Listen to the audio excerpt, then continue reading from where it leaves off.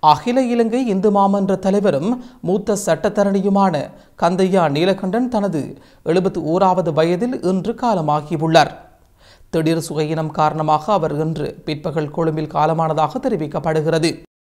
யாழ்ப்பாணம் வடமராட்சியை பிறப்பிடமாக கொண்ட கந்தையா நீலகண்டன் உடுப்பிட்டி அமெரிக்க மிஷன் கல்லூரி மற்றும் யாழ் இந்து கல்லூரி ஆரம்ப கல்வியை முடித்ததுடன் அதன் பின்னர் சட்டக் கல்லூரியில் இணைந்து சட்டத்தரணியானார். தமிழுக்கும் சைவத்திற்கும் அருந்துண்டு ஆற்றி வந்த அன்னார் அகில இலங்கை இந்து மாமன்றத்தின் தலைவராக இறக்கும் வரை பணியாற்றினார்.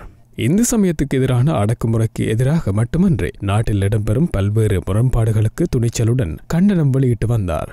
அத்தோடு கொழும்பு தமிழ் சங்கத்தில் தலைவராகவும் உறுப்பினராகவும் பதவி வகித்து தமிழுக்கு தொண்டாற்றினார். இதேவேளை தமிழ் மக்களின் அரசியல் சார் விடயங்களிலும் அன்னார் அக்கறை கொண்ட ஒருவராக செயற்பட்டார். அந்த வகையில் தமிழ் தேசிய கூட்டமைப்பின் பல ஒன்று கூடல்களிலும் கலந்து கொண்டிருந்தமை குறிப்பிடத்தக்கது. அன்னாரின் மறைவு சமயத்துக்கும் தமிழுக்கும் பாரிய இழப்பாக கருதப்படுகிறது.